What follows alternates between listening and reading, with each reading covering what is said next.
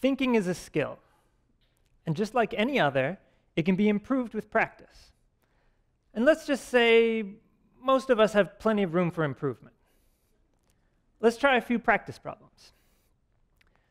A bat and a ball cost $1.10 total.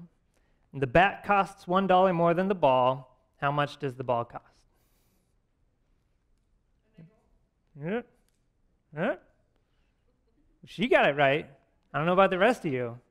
The most common answer is 10 cents, but if the ball costs 10 cents, then the bat costs $1.10, so it has to be a nickel. Let's try the next one. If it takes five machines five minutes to make five widgets, how long does it take 100 machines to make 100 widgets? 100 is the tempting answer to complete the pattern, but each machine makes a widget every five minutes, so 100 machines makes 100 widgets in five minutes. All right, last try. A patch of lily pads is on a lake, and it doubles in size every day. If it takes 48 days to cover the whole lake, how long does it take to cover half the lake? 47! Well done. A lot of people divide 48 by 2 and say 24, but it's doubling every day. All right. So, this set of three problems is called the cognitive reflection test. Um, the other CRT that you don't hear about in school board meetings and campaign rallies. When researchers gave this set of three questions to students at Harvard, they got less than 50% correct. And it's not because the math involved is that difficult, it's because each of these problems was designed to have an easily available wrong answer right? A moment's check will tell you it's wrong, but we tend to not take that moment, right?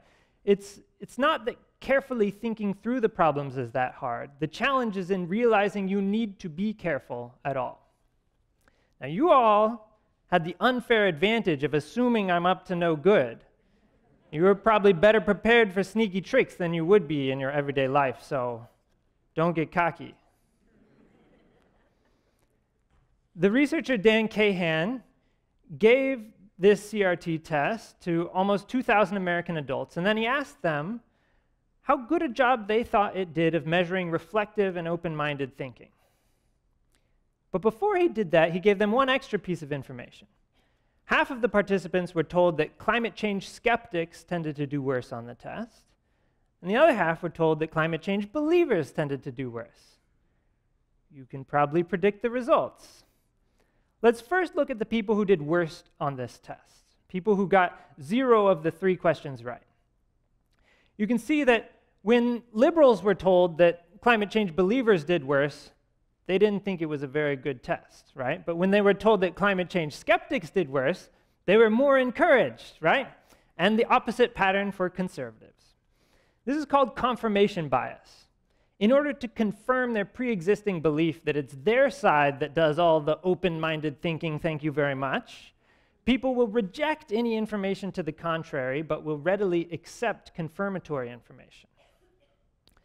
Now, I noticed a lot of you did pretty well on those first three problems, so you might be thinking that your superior intellectual abilities would prevent you from making such an illogical error.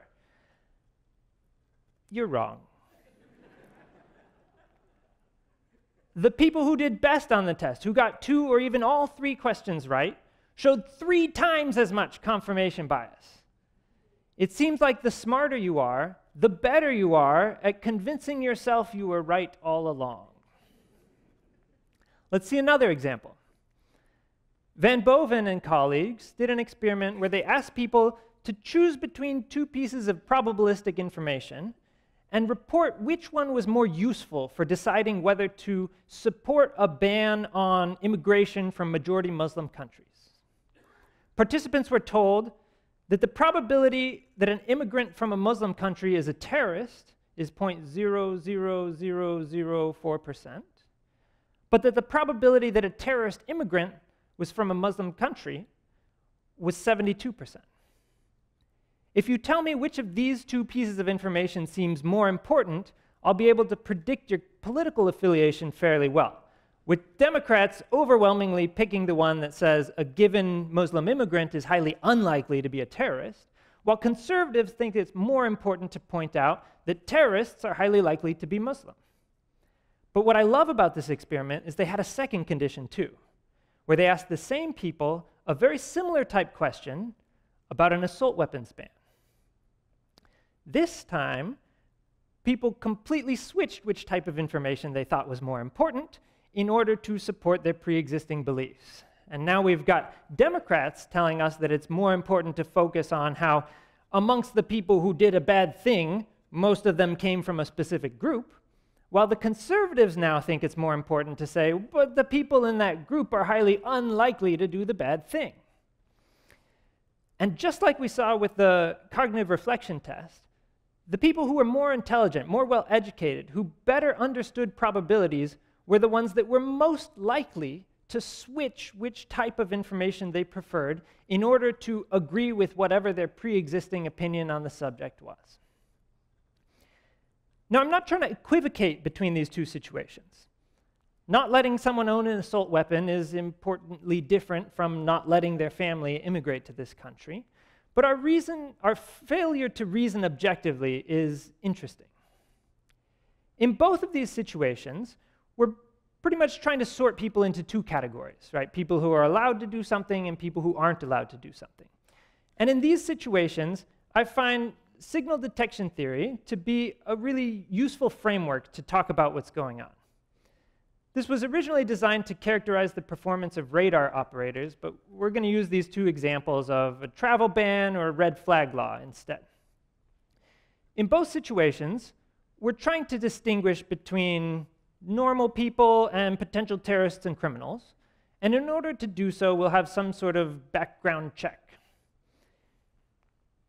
We can see that the terrorists and criminals tend to look more suspicious than the normal people. Good. But it's not as clean as we would like. There's a lot of overlap there. And in order to decide if a given person gets to own a weapon or bring their family to this country, we have to pick some sort of threshold, right? Uh, a criterion of suspiciousness, below which you're allowed to do what you want, but above which we're not going to let you. When we do that, we end up making two different kinds of errors. One is called a miss, and these are the potentially dangerous people who, by virtue of looking less suspicious than they should, are allowed to immigrate or own a weapon even though they probably shouldn't be. The other type of error is called a false alarm, which is normal, upstanding citizens who aren't allowed to exercise their rights or opportunity because they happen to score abnormally high on this test. Now, we can trade off between these two different types of errors by moving where our criterion is. If we've got a really strict criterion, not a lot of people are going to own guns or immigrate, and that has the positive effect of reducing the number of misses, right? These dangerous people who slip through the cracks but it has the negative consequence of greatly inflating our percentage of false alarms. And there's a lot of people who won't be allowed to do what maybe they should be allowed to do. So this would be like the hyper-paranoid nanny state that doesn't trust its citizens. The opposite example is the libertarian dream, where everybody owns guns and immigrates. In this situation, we have very few false alarms, which is great, but we have a corresponding explosion in the number of misses, which is not great. What I like about this framework is it does a good job of showing how someone can disagree with your opinion on what the perfect level of immigration or gun ownership should be without being evil or stupid, right? Democrats tend to prefer a more lax criterion on immigration and a strict criterion on gun ownership, and conservatives the opposite. But when anyone talks about it, all they ever focus on is the one type of error that they're most focused on minimizing. And we need to be honest that both things are bad, and there's no one right answer for how much worse one is than the other. So, what I want you to remember that googly eyes are hilarious. and that our brains didn't just evolve in order to seek the truth. There were strong pressures of expediency and signaling group membership. And honest disagreements can occur through differing access to information or different priorities. And although it's easy to see bias in other people, we need to remember that we're humans too. And we can be easily misled by manipulative framings or our own motivated reasoning. And I've shown you today how intelligence isn't always an adequate defense, and sometimes it even makes things worse. So you need to stay vigilant and try and nurture a sense of compassion for those who might have arrived at a different conclusion than you. There's a lot of great books written about this subject if you want to learn more information, so go ahead and good luck out there.